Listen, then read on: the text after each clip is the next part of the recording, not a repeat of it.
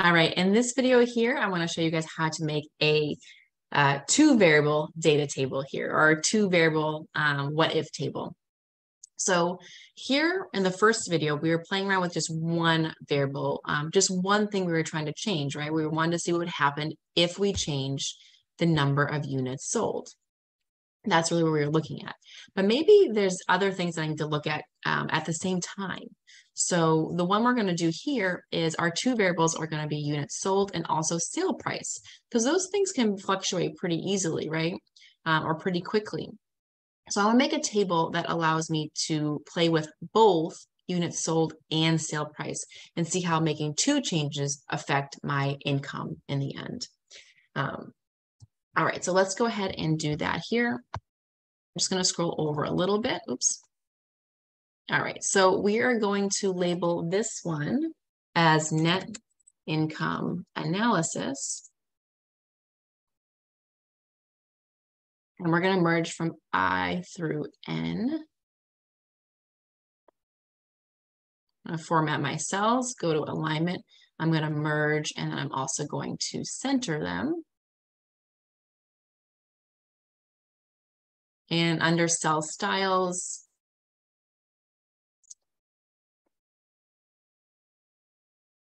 I'm going to use heading three again to kind of match the one before it. All right, and then in cell I4, I'm going to enter the word sales price. And then I'm going to go ahead and take that and merge it as well.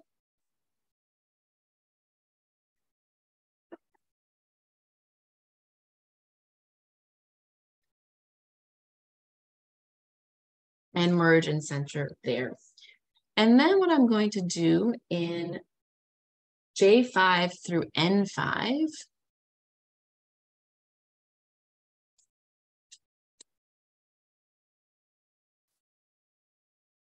So starting here, I'm going to enter the following possible sales prices.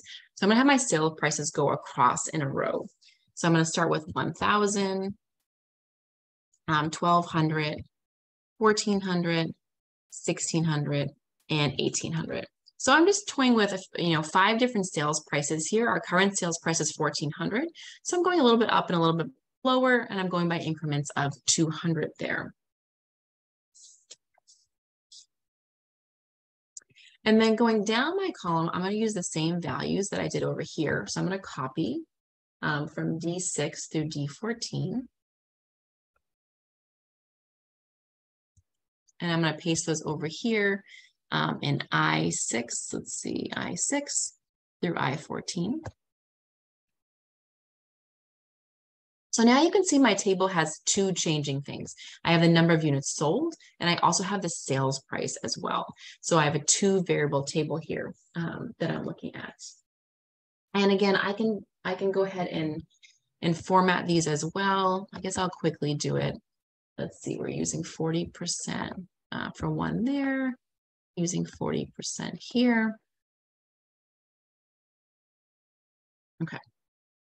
Um, and then you can add borders and things too. Your book does go through adding borders as so on, but I'm just going to leave that off so we can move on. But you can add, you know, borders as you want to within your tables here. Um, and then I'm going to actually go up to cell I5 here, and I'm going to enter the formula B27. Now, if you remember, B27 was our net profit. Um, so, our net income here. So, our net income analysis, everything is based around our net income, right? That's really the goal of this um, what if analysis is to see how our income changes if I change both sales price and I change the number of units sold. So, in the corner, I'm going to put that key factor here. So, in this case, I'm looking at net income. All right, so now I'm going to generate the results. And I'm going to go ahead and select range, let's see, I5 through N14. So I5 through N14. I'm going to go back up to data. I'm going to go what over to what if analysis and again, data table. Um, so now here it's a little bit different. For our row input cell, we're going to use B6. So if I scroll back over here, B6 was the sales price. And if you look at my rows in the table, right, that top row is all sales price. So that's why we're using B6. So B6 relates to sales price, and then I have my values that are changing. For my column input, I'm going to go ahead and use B5. And again, I'm using B5 because that is my reference for units sold. And if I look at my table in the column, I have units sold. So that's how you can distinguish between row and column. I hit OK. There are all my values. Um, I do want to format this so that it looks like everything else. Um, so I can just go ahead and let's select cell. Excuse me, guys. Oh my gosh. See if I remember to edit that one out. Um, cell G14, I'm going to go to my home feature and I'm going to go ahead and use my uh, format painter button there.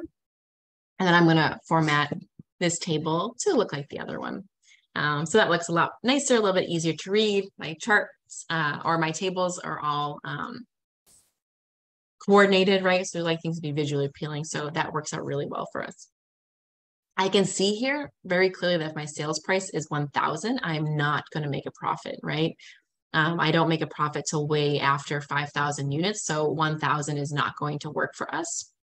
Even 1,200, we don't start to see a profit until somewhere between 4,500 and 5,000. Um, so again, that sales price probably is not going to work for our company. Right now we're at 1,400. So I do have that break even point, um, a little bit more than 2,500 we saw in a previous video. Um, or if I charge more, then obviously I have more of a chance to make profit here. So if I go up to 1600 or even 1800, um, I can be making much larger sales, um, much larger profit um, or net income. Now, this is all based on the fact that what we produce, we sell. And that is a big, big assumption that we are making in this problem is that everything that we produce, we are assuming will sell. And we know that's not always the case. Um, so in the real world, you do have to think here. Know, for instance, if I charge $1,800 for my bicycle and I sell 5,000 of them, I'm making $3 million. That's awesome. However, be realistic. Can my company really sell 5,000 of them? I don't know, right? Or can they sell 5,000 of them every month or every year? Probably not. It's going to probably taper off at some point or a new model will come out or, or something else. So you do have to be reasonable here. You know, maybe we do know that we can definitely guarantee a sale of 3,000.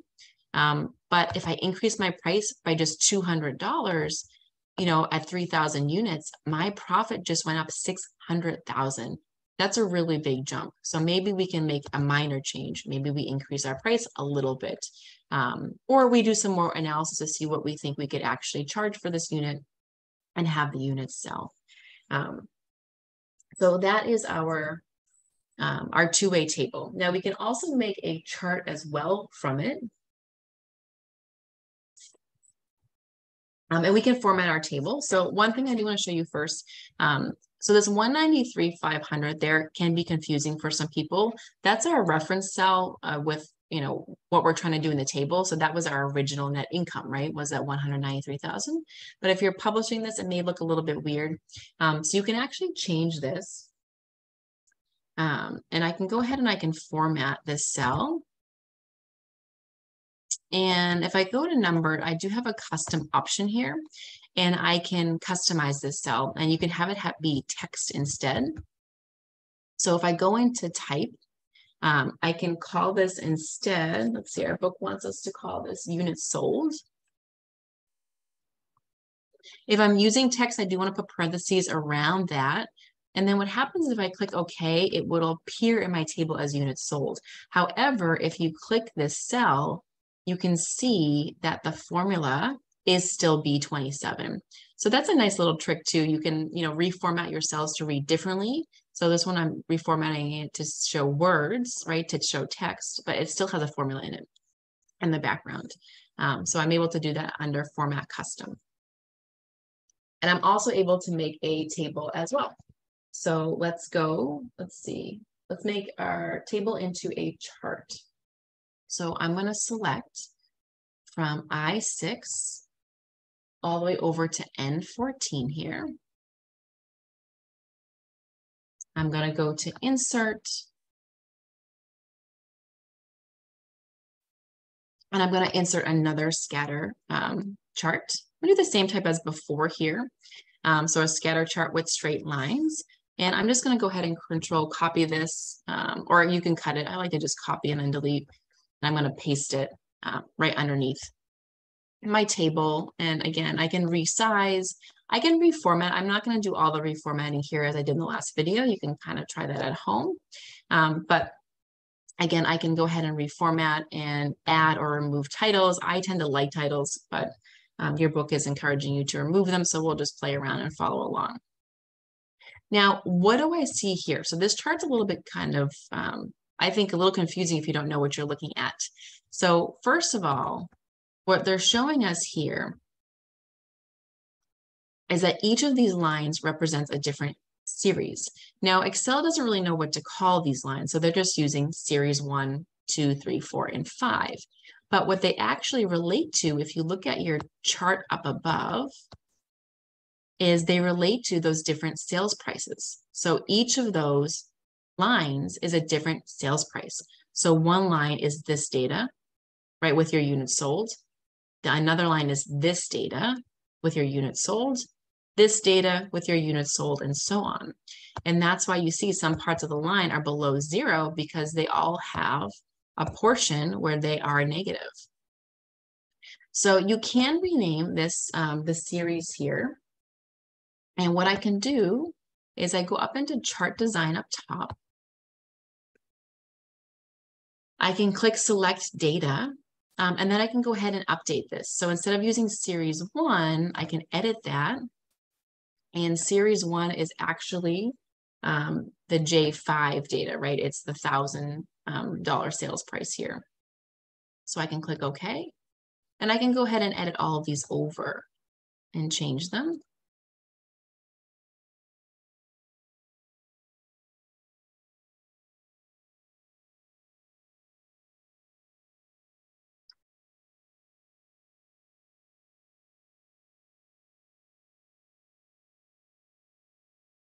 And then when I click OK, I will notice that they are updated in my chart now. So they're labeled um, a little bit more clearly. Um, I probably should update these to have dollar signs in them as well. Um, so that we know that these are prices.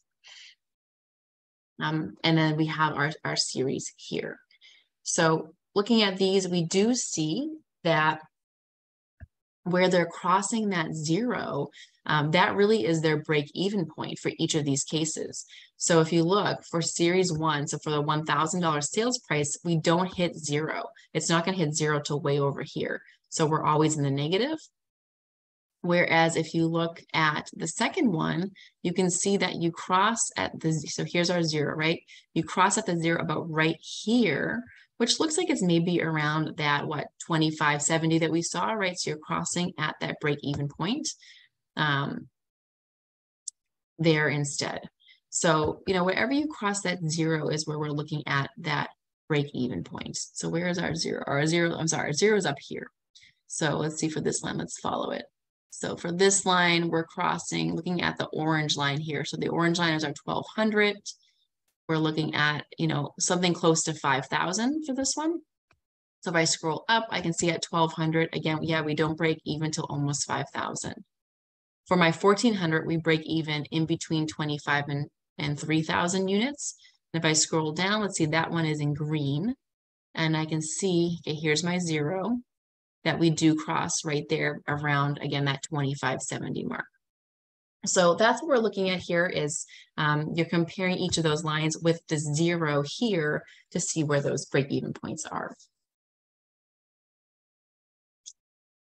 All right, um, so that this picture is nice. I actually like the table a little bit better personally um, on the two, two variable. I think it's easier to read. I think this is maybe a little bit tough to follow along with, um, whereas the first picture was really nice and clear, um, but we're still looking at break even here and considering the different profits that we see.